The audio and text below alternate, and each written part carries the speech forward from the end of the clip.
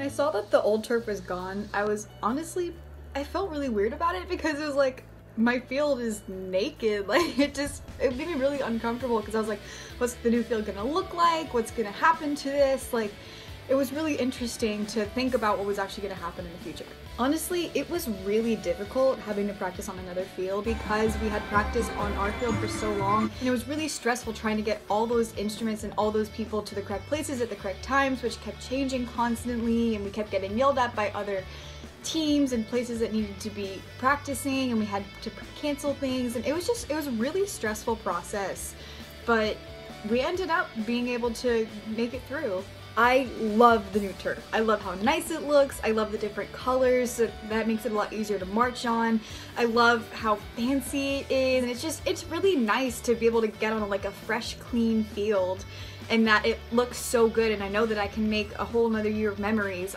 Overall, the process has been really stressful, but it's been really worth it. Like, although our show has had a lot of struggles, and I know the football team and other teams practicing have had a lot of struggles, I think the new turf looks awesome, and I'm so excited for the new field. I am really proud of the marching band this year. They did a great job. We had a lot of setbacks and a lot of trouble, and they just kept working. Without a doubt, we improved this year. It was so difficult, you know, with the field, and it was the hardest show that we've ever done, the hardest music, the hardest marching, and everyone really put in 110%, so we definitely improved, and hopefully we'll be able to go back to BOA.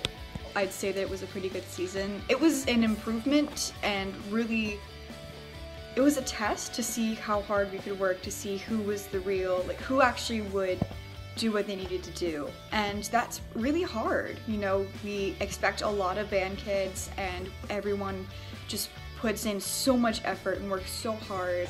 So I think that it was a really good year, though we did have a lot of setbacks. This year's cast and crew were a super fun bunch that were, it was a big learning experience for everyone. Everyone was super dedicated, we had a lot of new people, and it was just really fun to watch them grow and into their parts and just learn about how the theater works. There were definitely a lot of challenges for cast and crew and pit alike.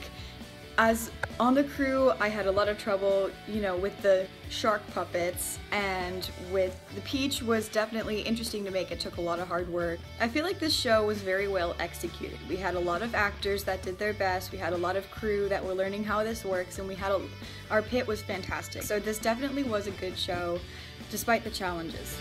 Yeah.